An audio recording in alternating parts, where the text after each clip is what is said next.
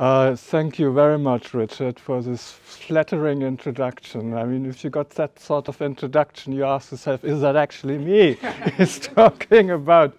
But uh, yeah, you see there's maybe some similarity still between the picture and what you see here in, in, uh, in nature. But uh, yes, thank you very much. Richard, of course, is my mentor on the Bournemouth University board, and we have a very close and friendly relationship, as, as he pointed out.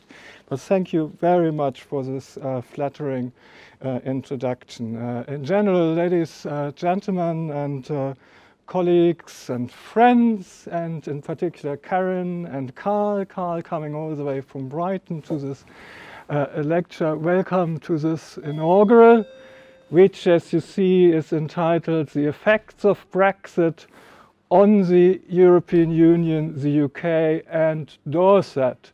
So some people were pointing out that this is a far, far-reaching subject, but you might have noticed I've left out the world economy. so, I don't think there will be an effect, to be honest. But, but so keep it a bit, uh, keep the ball a bit low in that sense. I, I would suggest, and I take a particular perspective, namely the one of of, of the migrant and. Uh, I mean, you might have guessed who, who that migrant is. that, that, that's me. Uh, I, I, am the migrant here, and I come to that uh, in, in, a moment. Um, it's just uh, some colleagues pointed out their astonishment about my attire, which I, I have uh, rarely the occasion to wear, and uh, I, I, I, still enjoy wearing it now. And actually, to be honest, I tried to avoid this tie because Donald Trump was walking around in this tie. but mine is different. It has some uh, some white dots on it, so I'm I'm still wearing it again. So. So, so, so this, this, is uh, just a, a typical uh, uh, introduction. I'm very grateful for Barclays um, having us here. Um, I, I, I, did come uh, in, on another day to inspect the facilities sort of thing, and I can promise you there is the, the world's uh, second biggest uh, natural harbor outside there somewhere after Sydney. So sometimes it can actually be seen. Um, I also think it's great having this at Barclays, not just to reach out to the, to, to, the public, maybe in particular to the financial world, as I'm trying to manage this particular department here. Um, come to back, come back to that later. Uh, but also it, it brings me back to my personal roots because I started my uh, uh, professional career as a bank apprentice. So I did a bank apprenticeship because simply I or originated from a family of bankers, so grandfather, father. So university, what do you want to do there? Do something real. and I actually did it. Uh, but after this apprenticeship, I, I, wanted to, to know more, actually. That, that, there was curiosity driving me to university, and I went to the Free uh, University of Berlin um, to study. So now I'm a little bit under adrenaline, I must say, but I don't want to do this gesture here. I hope I don't cut myself. Uh, that would be a bit embarrassing. But I think it's a good idea to cut out a star. So this is the Brexit, the EU flag from Brexit. Although I must say this is just a, a, a gesture, it's a symbolic gesture because uh, this flag has only 12 stars. so, we don't need to cut out the UK in that way. There, there won't be new flags to be printed also. And the spirit of this flag would be uh, expressed in, in, in, in the following terms, namely, Against the blue sky of the Western world, the stars represent the peoples of Europe in a circle, a symbol of unity. And uh, their number shall be invariable, set at 12, uh, as a symbol of completeness and perfection. This was the view of the Council of Europe in France in 55, and it hasn't changed. So, so in reality, we won't cut our flags, but I thought this is a nice, nice start uh, uh, as a symbolic ac ac action here. So now, um, as part of the introduction, I, I would start, uh, like to start with the subtitle of the lecture, nam nam namely a migrant's account. I did I did say that I am actually the migrant, and uh, and uh, as you might have uh, uh guessed from my terrible accent and then also the umlaut in, in the name, I'm uh, sort of uh, uh, made in Germany, yeah? so, so, made in Germany, hopefully as reliable as a Volkswagen I would have hoped. so, so, so, that, that, that, that's uh, the, the, the uh, uh, introduction. And being German has some implication, which I, I send out as a proviso actually before I start lecturing here. Namely, first of all, there will be no humor in this talk. the Germans obviously have no humor. So, so, uh, so, so, you will be bored over the next half hour, 45 minutes. Uh, there's actually something to look forward to because, thank you, Mark, this was a brilliant idea, actually. We will have Beck's beer, Rhine Riesling, and um, Pinot Noir uh, from, from, from Westphalia. So, so we have some German products uh, which might lighten up the evening afterwards. You probably want this to be over very soon without any humor just rushing to the wonderful uh, supplies we have in, in the back. Uh,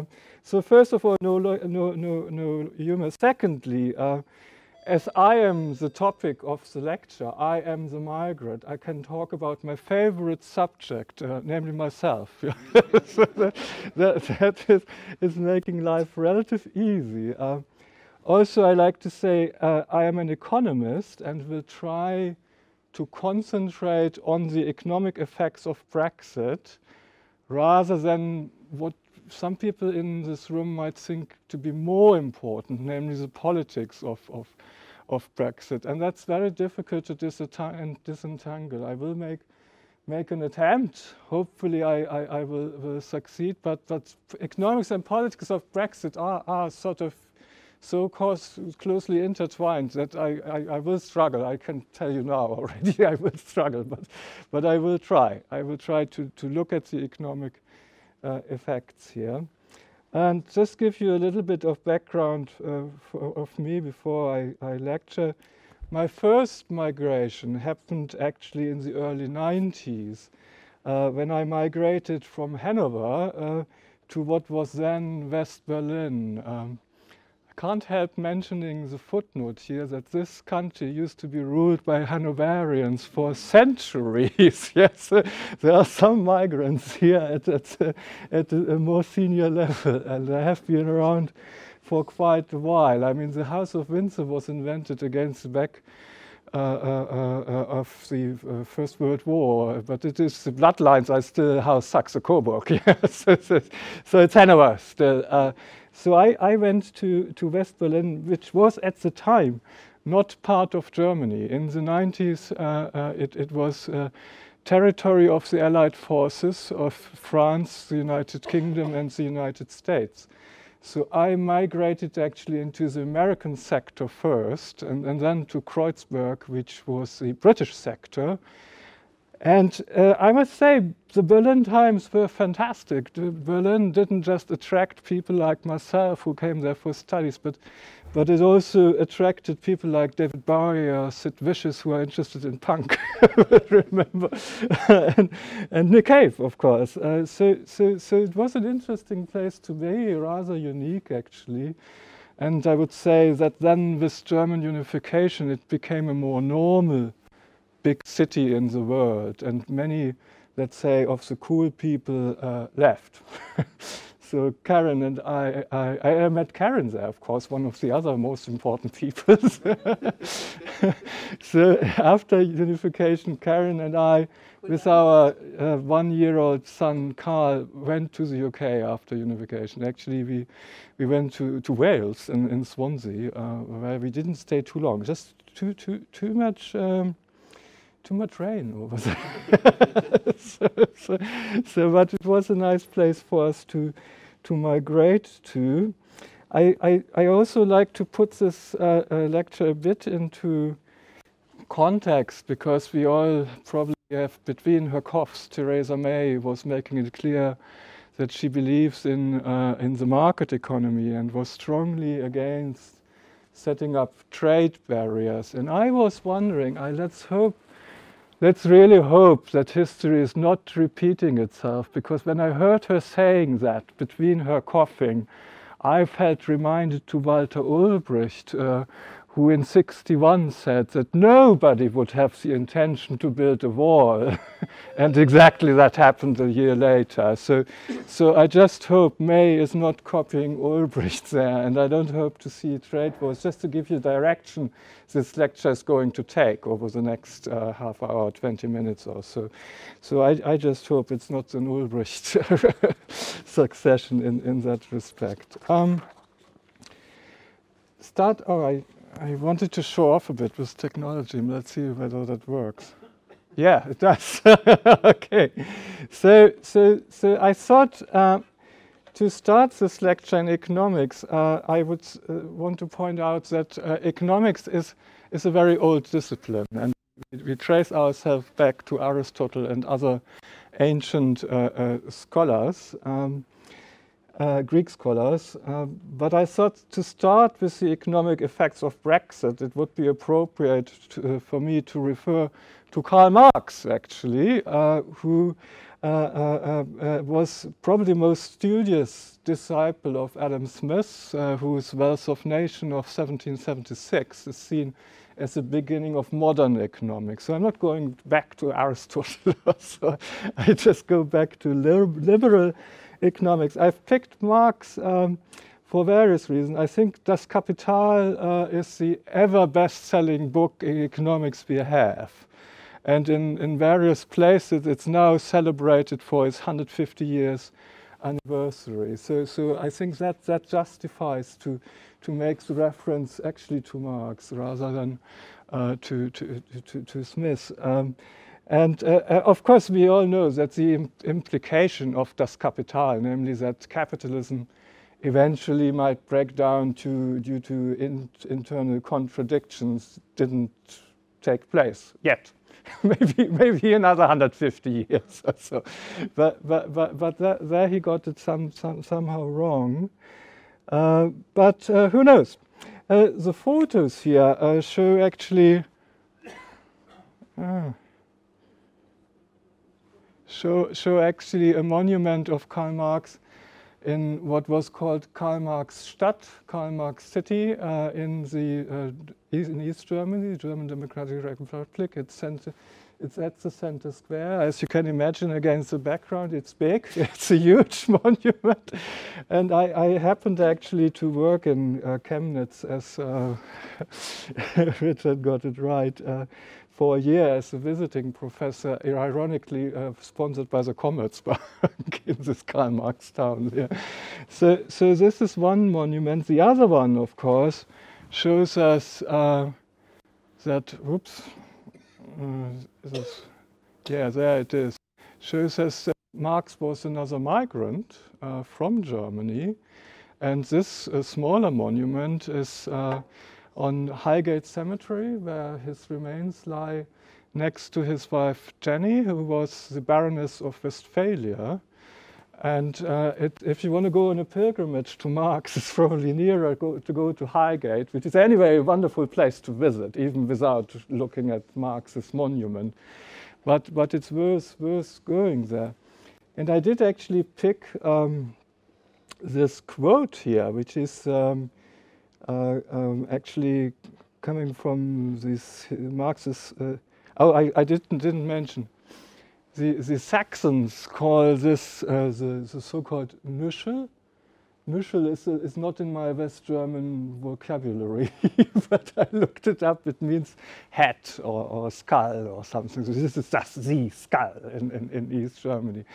So, so, so I think that's, that's something we, we, we, we got to know. And I, I picked this quote here, namely that, that, the philosophers have only interpreted the world in various ways. The point, however, is to change it, because I thought that's the very spirit of the Leave campaigners. They really wanted to change the world and still want to change it. And, and that, that, that was driving the motivation to really bring about change. Whereas, whereas the Remainers, uh, the Remain campaigners, probably I belong to that camp a bit nearer are more like the philosophers, just to get on with things as, as, as they are, actually. So, so so that's why I thought this, this quote by Marx is, is appropriate because he was really driving action rather than taking a laissez-faire, laissez-passer uh, po po po point of view. That, that, that's why, why I thought it's appropriate. Those of you who understand German, there are at least two in the room. Uh, uh, no, there are four in the room. sorry, sorry, sorry, sorry. probably do know or should know that the uh, original uh, uh, of, of, Marx would, would read, die, die, Philosophen haben die Welt nur verschieden interpretiert. Es kommt, and the kommt is important, darauf an, sie zu verändern. And this Ö, like in my own name, umlaut, gives us uh, an idea of Marx's upbringing actually in, in, in Westphalia. But uh, uh, just, just to have this as an introduction, I can always recommend Highgate as a little tour, pilgrimage if you would like so, but and it is a nice place to watch. So now let's start the lecture here. Um, where am I here? Okay, I would, would, would want to identify three background themes we have uh, with, with Brexit, and, and that might be a bit provocative, but I, I look forward to the discussion afterwards. It's, it's, I think it's clearly anti-liberal, uh, and, and I would say um, this is um, what Friedrich Hegel, who was uh, Marx's teacher, conceptualized as zeitgeist. The zeitgeist is anti-liberal. We see this in Trump. Uh, uh, I don't mention the tie again. Um, America first. We have UKIP. We have the Alternative für Deutschland. We have Front National. Since Sunday, we have the Österreichische Volkspartei. All these uh, ideas are anti-liberal in that they put the national priorities over international one. Uh, so this is a zeitgeist. We don't know how long the zeitgeist will last, but it is really contradicting economic ideas because I think you can be offbeat as you like as an economist. You would probably share the idea that free trade is to the benefit of all participating parties. Maybe, maybe not to the same extent. Yeah? Germany has been a long time been accused for benefiting more from the export surpluses than other countries. Yeah, so not, not to the same extent. But free trade is good in terms of economics. Now we have to do Trumponomics, I suppose, because this, this, has changed. So this is zeitgeist, it's the time we are living in. And uh, let's see how, how long it lasts. But it's, it's a fact, I think. And I, I, I come to some reactions from the public a bit later. Also, secondly, I think we should note it's anti-social uh, in the sense that we live, the zeitgeist again is uh, such that the French president can openly disrespect the unemployed because he believes they are lazy. And also we have um, the highest level of uh, inequality within and between countries in the world since we ever had, since we have written records. We don't know about the Roman Empire, so but, but, but this is the highest inequality we have. And again, it's zeitgeist because it's not really disputed. And the background is that if you have higher inequality, you set an incentive to work more and work harder. So it is to the benefit of of society. So that's how I understand the zeitgeist. And again, I don't see this uh, going to come to an end very soon. It, it, it, it's just there, and nobody stops the rising inequality. So that's the se second theme, I would say. And then now, this is the most puzzling one. I think it's anti-business, uh, the, the, the, the, the uh, theme here, because um, Brexit uh, really is not good for business management and the economy. And that's against the zeitgeist. And that's what I'm trying to understand. How can it happen? And this leads me back to what I said. Try to disentangle economics and politics. I don't understand why businesses are so late coming forward saying, well, this shouldn't have been done. so there wasn't an early resistance saying, well, this is utterly wrong and it will lead to negative economic consequences in all sorts of uh, various things apart tourism. But it didn't happen, and, and that's, that's what, what I find absolutely astonishing, in particular for uh, the UK, because when this is a country Bonaparte referred to as the nation of shopkeepers. and how could they be anti-business? That, that, that, that is still puzzling me, raises my eyebrows, and I have some serious questions of why that has happened. And, and that's uh, what I want, want to explore uh, in, in a moment. Um, before uh, I move on into the analysis, I, I want to make sure that I know where I am, yeah? I know where I am. I had two pieces in the Bournemouth Echo, uh, and they will report on today's night as well. And, and uh, one was uh, actually expressing the concern I just issued, namely that this is against business interests. How could that be, actually? And also I did say it, it, uh, there's a problem of possible losses of jobs. And uh, the, the, interesting part was the reactions I got. so, so, on that one, I got 59 comments then. And this is setting the tone. I just didn't pick two examples which are out of order and, and, and out of line. The tone is those who can't make it in the real world teach. yeah. And also it's time to ignore these self-proclaimed experts. I mean, never, I never self-proclaimed myself, but uh, that, that, that was the reaction. And that actually makes me think that maybe there's a fourth theme, that the Brexit uh, Leave campaigners are anti-education, really. If you come forward with that strong views, uh, yeah, sorry, I, I know where the territory is. Here we come to that in a moment. But there was a very strong reaction. And now let's have a little look at the facts for a change rather than the ideology behind it. The facts are um, relative easy. Uh, this is the overall result in the UK. Uh, uh, uh, an average of 52 people wanted to leave, 48 wanted to remain.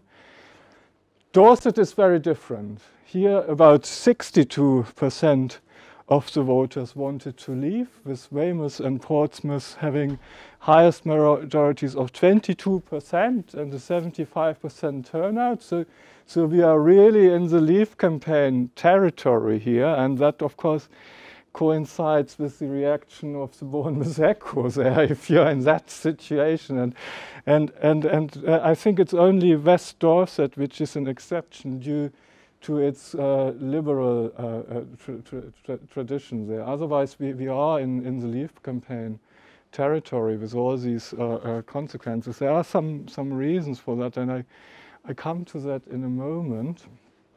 Um, so if we look at the, the, the, the, facts, it's very clear it's the elderly. So those, including me, over 50 and even more so over 65 who voted for leave. Whereas the overwhelming majority of the young people wanted to remain. So this is a clear, clear picture of, of, of, of, of the uh, population uh, demographic background. There might be reasons for that. I have been discussing this with, for example, Graham, uh, because the elderly do remember the past. They, they might remember uh, times before 72, and uh, these might be good memories, actually. I recall I was a young man, I was a, a boy at the time. I, didn't I don't recall any any issues crossing the Denmark-German border for our summer holidays, where we often went. Uh, we just stopped by, and my dad would have the boot full of beer, as much was allowed, because uh, alcohol was uh, prohibitively expensive, as it still is in, in Denmark. But I don't recall this as a big problem.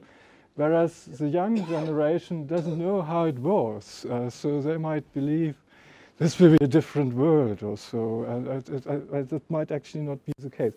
I'm speculating here, yeah, but, but it's, it's just possible that, that the memory is, is an issue here. Um, so if I move forward a bit uh, with, with the demographic, then we can uh, clearly see uh, that's not just the elderly, but also the less educated population. So those who are not graduates have uh, as a best degree a GCSE voted voted for leave, uh, and uh, the the better educated one voted for remain. That sounds a bit um, critical, I know that. so it's the elderly and the not so well educated who was driving us into the Leave cam cam campaign. But that's what, what we have here as, as a picture. I think the demographics also clearly show it's English. The Northern Irish, understandably, and also the Scots are, are Remainers. And, and they, they, they, that's, that's, I think, an observation really important, in particular if we look into Dorset a little bit further. Education is here proxied by Sun readers and Guardian readers. Not sure whether that's good. You better stick to the hard facts, highest qualification, uh, lower than GCSE or uh, AB uh, class as terms of education. So I think we have a clear picture here as to who voted uh, like what. So after having look at, looked at these pictures, I, I want to look at the process.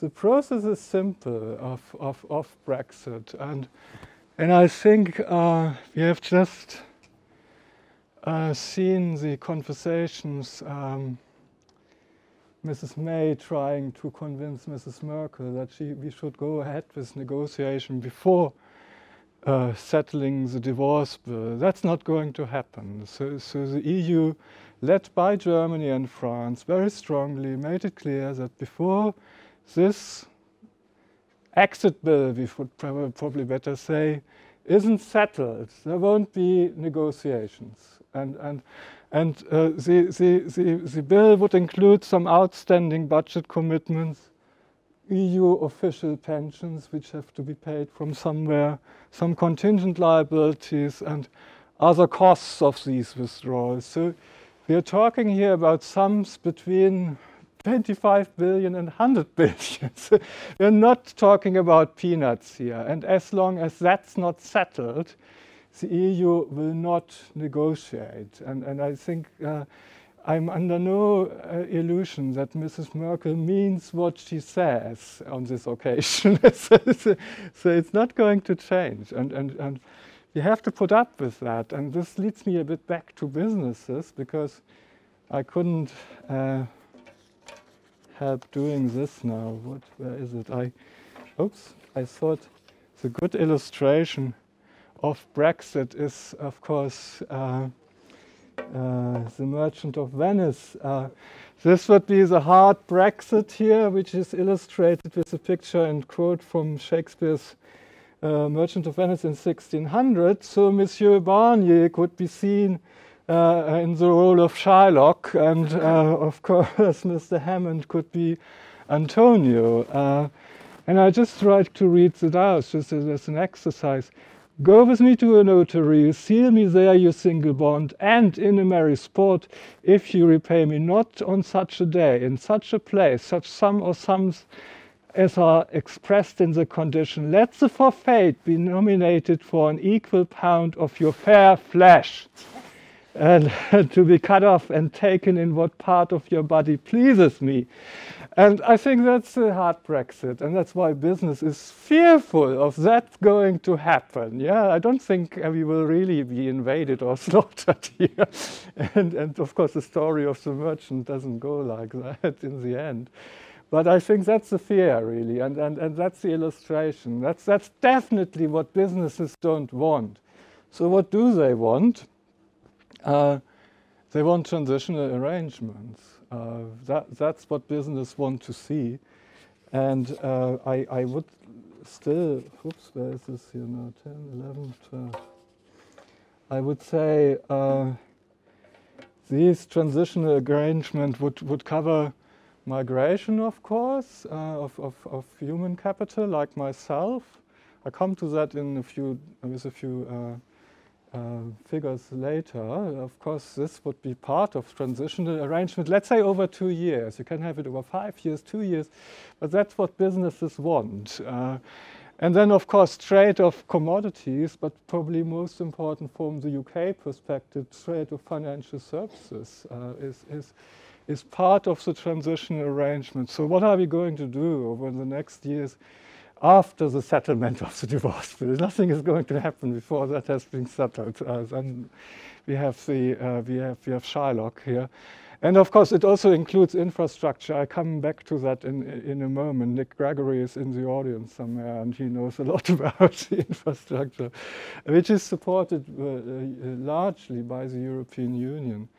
And I think a good example is the Irish border, where where we say. Um, where is this now? Uh, well, I have to read this out from here. That I Ireland's horse racing business relies on long-standing agreements that allow the tariff-free and unfettered movement of thousands of horses between the UK and Ireland. So this is just an example of, of, of, a border which does re, uh, exist in, in reality. Of course, uh, you then and nobody, so to my knowledge, uh, puts into question the Good Friday Agreement. I, I, haven't heard anybody saying that that needs to be cancelled. We have some Irish colleagues in the audience who can probably confirm that. So then, can the Irish UK border be different from the French UK border? that, that is something not so easy to uh, imagine. And of course, the Dover Calais, uh, Calais passage is the obvious uh, bottleneck here. And I'm quoting um, um, somebody from the UK Border Force, a Mr. Dixon, uh, who has been living in Dover all his life. He says from the 500 or so lorries going to non EU countries that we process now, 500, uh, uh, we could suddenly be doing up to 10,000, sorry, 10,000 a, a, day. And, and does say, I, I, I don't know how we or Dover itself could cope with an increase of, of that scale, yes, from 500 to 10,000. Of course, the, the, the, the, same applies across La Manche in, in, in Calais. Yeah? So one has a practical issue here, how, how, how this uh, will actually be done. And he, he can't imagine that. I can't either, but I thought it's good uh, to, to have this here. Oh. Now, now my, my show off doesn't work. That's not so. Um, okay. Um, so, so, so um, I need to move this manually. um, so, what's the effect then? The economic effects of of uh, um, the Brexit uh, in this respect on the EU before I come to Dorset. I mean, I've picked Frankfurt here as an example, and and these are estimations. Uh, so we assume that over four years, 10,000 new jobs in banks are created. And a careful estimation is that indirectly, that type of 10,000 jobs in the financial sector would generate at least 21,000 other jobs indirectly or even up to 34,000 in Frankfurt alone, just moving the bankers over there. And in the region of Rhine-Main, this would be between 36,000 or even almost 90,000 indirect jobs. So we have a huge Brexit effect, a positive one. And, and of course, uncertainty is key here. But for the EU, uncertainty is positive, it has a positive prefix which is very different in Dorset, which I want to look at now. Ah, I've got back to my technology here. Excellent. so, if if we, if we now come come to to Dorset, uh, oops, whoops. Oh, this is this is of course self-evident, isn't it? Uh, Nick uh, uh Gregory is sitting over there, is running uh, the Dorset Growth Hub, which is a sort of um, agency supporting startups. And we have been working together on access to finance for small and medium-sized companies. And of course, as you see in the logo, this is widely supported by the European Union. That's probably not going to continue here. so, so I think we have a very clear indication of a negative economic impact on businesses in Dorset. I think all of us have read uh, the statement of the uh, chief CEO of JP Morgan, who said if we vote for leave, JP Morgan will probably uh, lay off 4,000 people in the UK, yeah, not just in Dorset, but they are the biggest uh, private employer we have in Dorset, where they employ 4,000 people. So some of these 4,000 will be those we have here. They are actually processing here, and, and, and I think this is something we, we need to be aware of. The exception is, uh, is maybe tourism. I mean, tourism could be positive, and, and we don't have figures yet, but it, that's a very simple uh, economics reason because we could just um, assume that um, a place like Weymouth, where the councillor thinks that drop of the pound will improve tourism, is, is, is helping our economy for simple two reasons. That the cheap pound might attract EU citizens to come over here, spend their holidays here because it has just been cheaper, but also that we might stay here rather than going abroad. Uh, uh, and that, that, that, would be positive. So, so that can be, and I don't want to question this at all. Uh, I think I think this, this, this is a real possibility. I still struggle with my show off here. Um, otherwise, I would say we, we clearly uh, can say that Dorset as a, as a region, like other UK regions, will uh, suffer from the exclusions of some certain EU agencies and, and also programs and maybe some markets as well that we don't know. Uh, and then we will have poorer access to intelligence and information simply because we are not sitting at the table. so, so, people won't necessarily tell us what they, what they are up to. So I think that's very clear. There will be an effect on direct investment, domestics and inwards, so we don't know whether foreign direct investment from the EU to Dorset is going to continue, probably not. Um, and also, uh, there, there, might be some domestic inward investment going down because we, less, we lost our export markets. That would be the seemly, sorry, simple rationale for that. Also, we might have less access to, to future skills and existing skills, which we can normally draw from the European Union. People like myself, yeah. so, so, so that, that, could be the case. And we might uh, experience a divergence of standards and regulations. As the Irish example with the horses shows, we have the same standards and regulations at the moment, making it very easy to sell Irish horses across the European Union. But that might change, actually, that the regulations will be different. And then we have a trade barrier, whether Mrs. May would admit that or not. And finally, we'll have an impact on trade competitiveness, and we mentioned the exchange rate, tourism, that could actually be positive. So, so so could, could be, could be.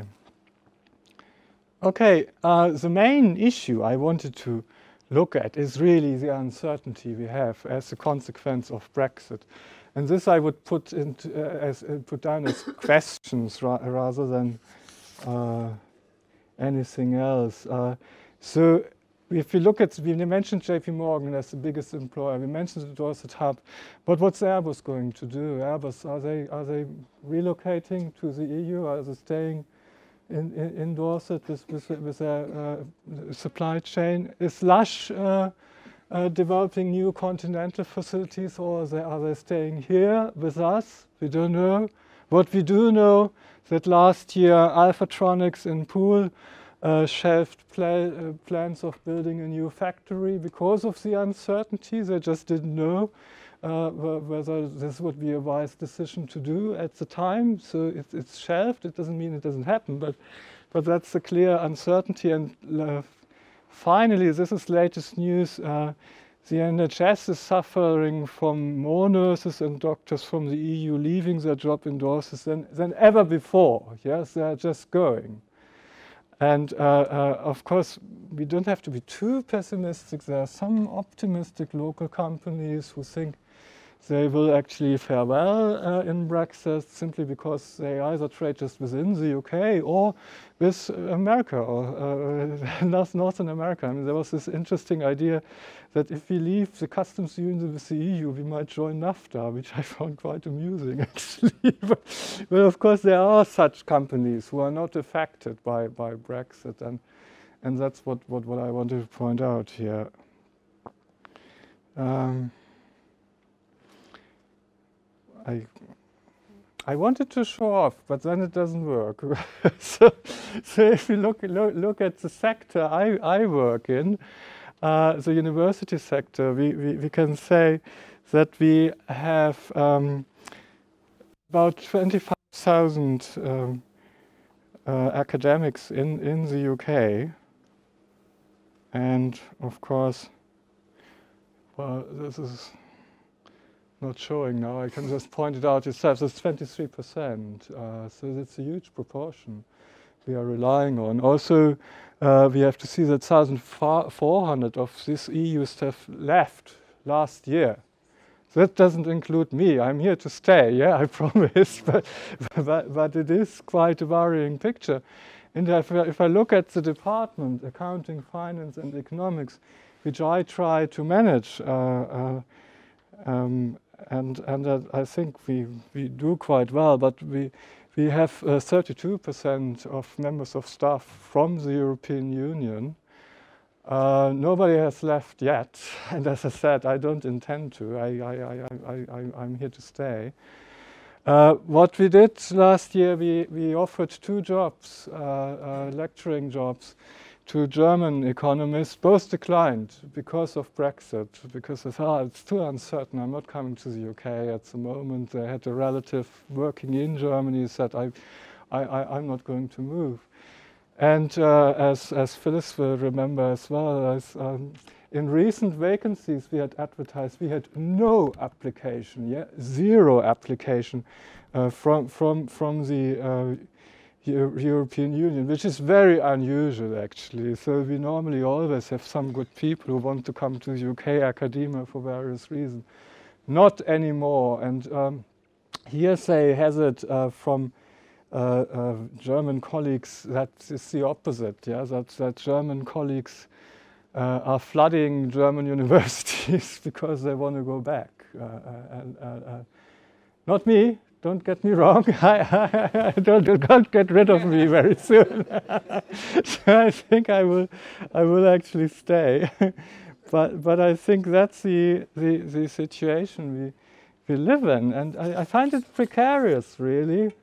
Uh, and and I, I, am not sure how to deal with it. Um, well, as I said, this never works. If you want, I, I just had to put on a good show, but uh, but there are some attacks as well. So, so the Remainers are sort of attacked uh, as being non-democratic, and I, am worried about that. And uh, uh the, the uh, Remainers are uh, identified as sitting in these institutions. These are seen as the representative Remain campaigners, which would be the BBC. Interestingly, the civil service of the UK is in favor of Remain rather than exiting, which puts us into this practical problem I indicated with the border agency, obviously. So, so, so that, that I think was an interesting finding. Also, the city obviously is uh, uh, uh, a bit under attack of being anti-democratic because most of those bankers don't want to go to Frankfurt or Luxembourg. They want to stay in London, quite understand for understandable reasons. I mean, uh, Frankfurt is a provincial town compared to London, so obviously they want to remain. And there are some leading universities such as uh, Cambridge. I would like to see us uh, there as well, but I'm not speaking for the university, I'm speaking for myself. Yeah, so I'm not sure whether we have, as a Univers Bournemouth University, an official viewpoint, uh, which, which, which I would like to see actually. There are some top lawyers which I'm not so interested in, but then my favorite newspapers, publications are seen as Remainers, and that's The Economist and The Financial Times. And the views expressed in these publications are fairly clear in favor of, of Remain ra rather than, than leaving. And this is actually influencing me. That's what I read on a daily basis. and, and, and I'm worried about these, these attacks because they say it's anti-democratic, which I can buy into in, in a certain sense, namely asking for a second, second vote is, in my understanding, a bit like, well, how often do we need to vote until we have the result we want? so, so, I can understand the rationale, yeah, but, but not many people ask for a second vote. I would be against it actually, uh, because we have to put up with what, what has been voted. We've got to accept that, and, and so that's but that's why people say this is anti-democratic, and that is worrying me uh, um, thoroughly. And that's why I conclude with another migrant here, interesting again from, from, from, from Germany, namely Karl Popper, uh, who in his famous work, The Open Society and Its Enemies, uh, famously said, we must plan for freedom and not only for security. If for no other reason than only freedom can make security more secure. And I, I hold this quote in very high respect, and uh, I think it's important that we follow this sort of doctrine.